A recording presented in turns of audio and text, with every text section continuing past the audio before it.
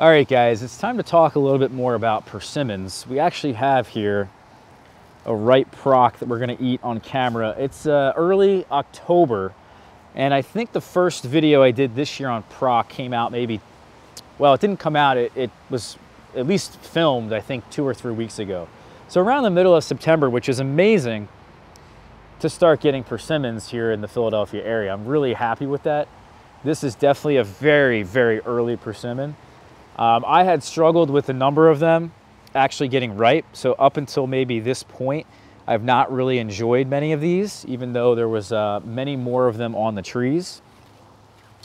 Because the squirrels have been going insane. They've probably taken this year hundreds of apples and uh, pears, hundreds of peaches, uh, you know, figs. They've taken pawpaw. They've just wrecked havoc on my yard. And so I don't understand how anybody could actually love squirrels that grows fruit.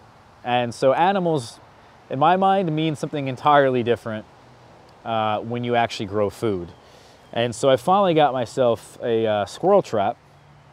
This is, I think, a WCS is what they call it. Squirrel trap, if I'm not mistaken. And so this thing is amazing. Um, it is loaded right now because I need to have this tree protected. And uh, underneath on the inside it's loaded with peanut butter at the top. And so what happens is they go inside and see that little pan right there at the bottom? They step on that and then it releases this spring and it it instantly kills them.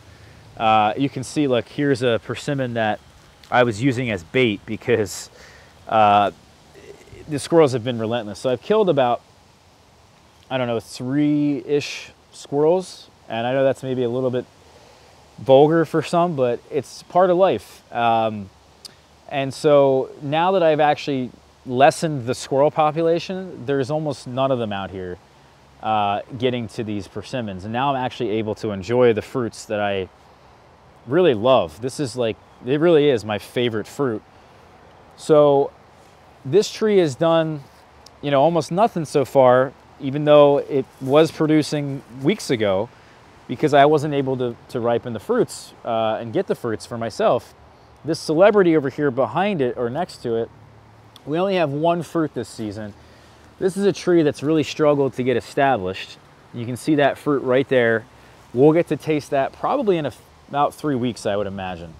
Um, maybe a little bit less, two weeks maybe if we're lucky.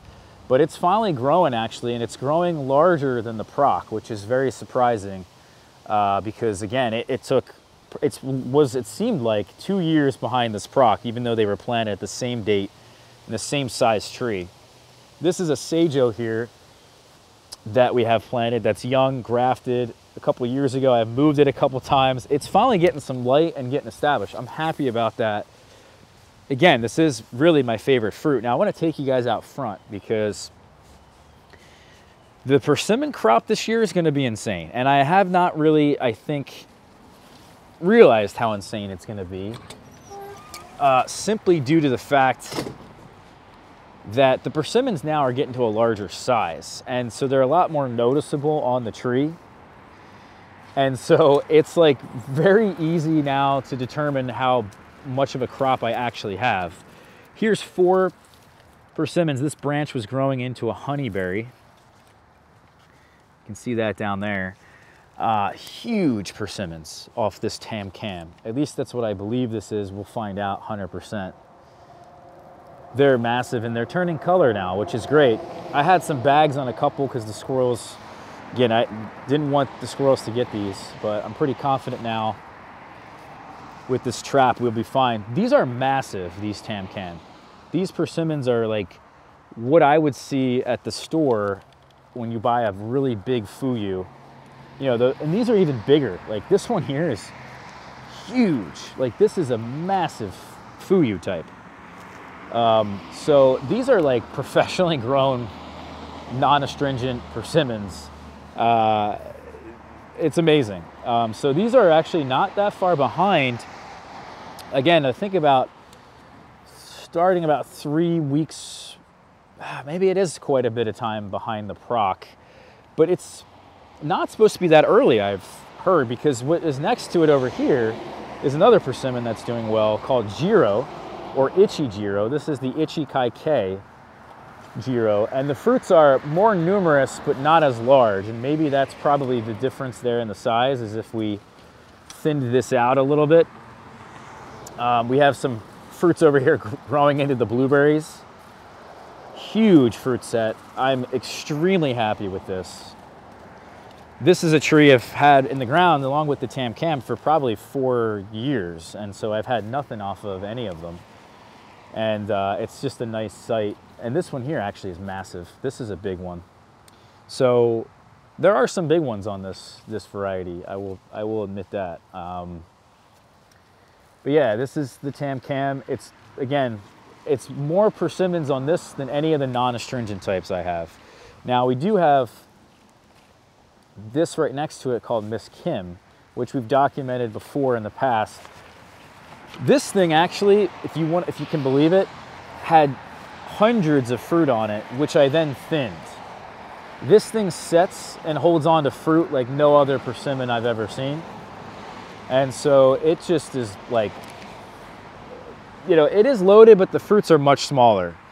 And so I'm actually kind of upset because maybe I thinned too much off of this thing. Uh, I don't know. Um, compared to the production of the other two, I would say this is maybe especially for the size, this Miss Kim is doing quite well. Um, it's about the same size as the, the Ichijiro, and the Tam Kam is much smaller than the both of them. But the Ichijiro is outproducing it, and so that makes me think I thinned the fruits too much. But what's weird is when I thinned them, the, the fruits are still smaller than the Ichijiro, and I think they're even smaller than they were last year. So this is a bit unusual, but uh, again, I don't think it is the largest persimmon variety. Uh, that's for sure. So, you know, it is what it is. But what's nice, at least, is that we have a really nice crop on those Asian persimmon trees. Whereas the, the Prok and the Celebrity, you know, they typically grow a lot quicker. They're going to be a bigger size. They're going to take a bit longer to mature and actually put out like lots of fruit. Um, so it's a bit of a shame. Uh, but, you know, I enjoy the Americans more as well. I like eating them more. But it's okay because next year I imagine the fruit set will be much larger and we'll have this squirrel issue figured out from the beginning of the season. Now, over here, it's a very shady spot we have them in. Probably more shadier than where the American trees are over there uh, by the fence. These are the Saijo. This is my larger Saijo. I have a seedling down here I've been trying to graft to. It's just not successfully gone through. And then this, I think, is Guang Yang. And so these two have not produced, uh, but I imagine because I planted them much later, they're younger trees, I imagine they're going to fruit at least something next year. Like I'm hoping this Saijo looks like the Asian persimmons in the front. Um, mean, even the Guang Yang looks like the Asian persimmons by the street uh, because they should be of that age and of that size. And hopefully they're getting enough light. That's my only real concern at this point. But it seems like all the persimmons, they're doing well in lower light conditions, whereas you know something like the fig can really struggle in lower light.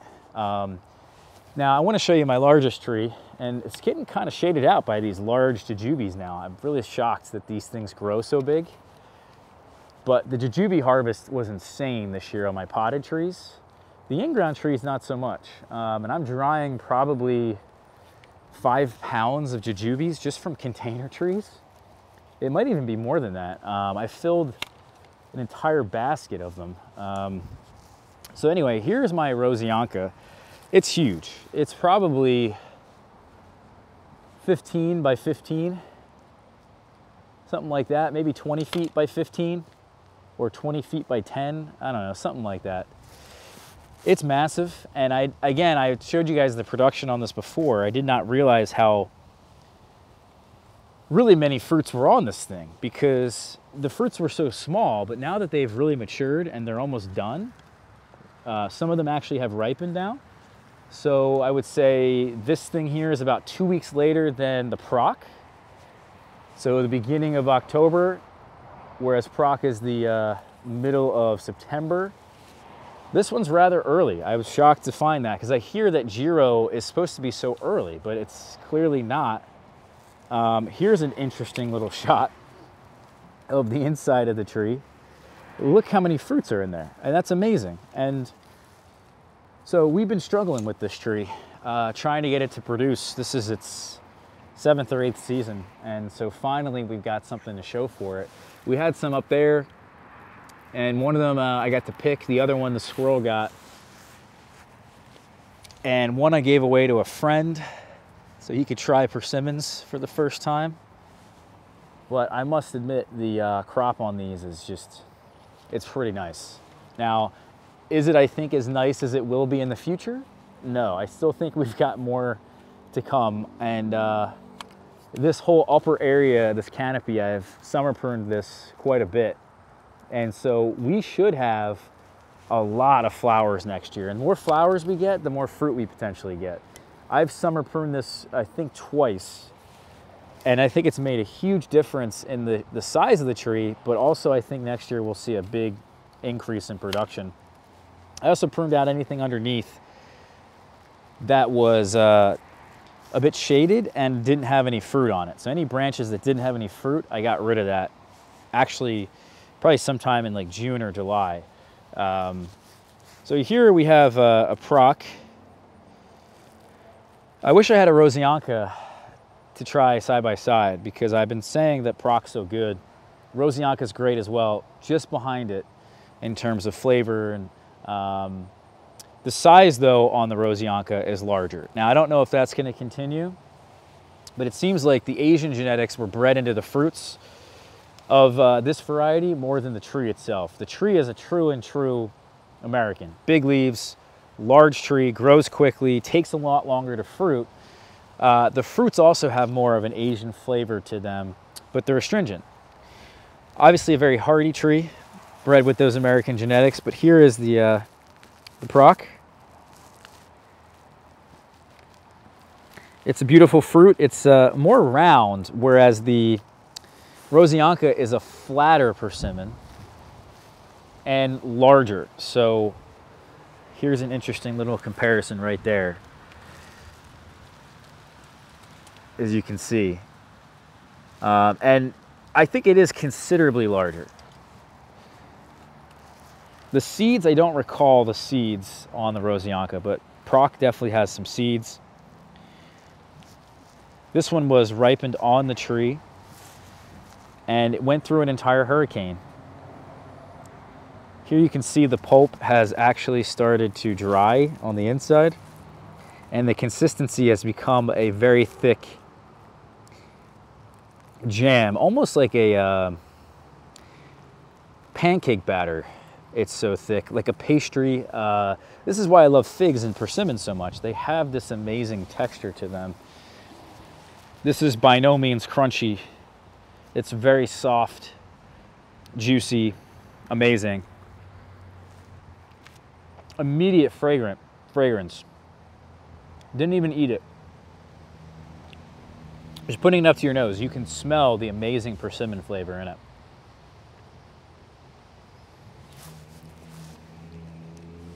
couple seeds, but I don't care. Honestly, I could care less about the seeds.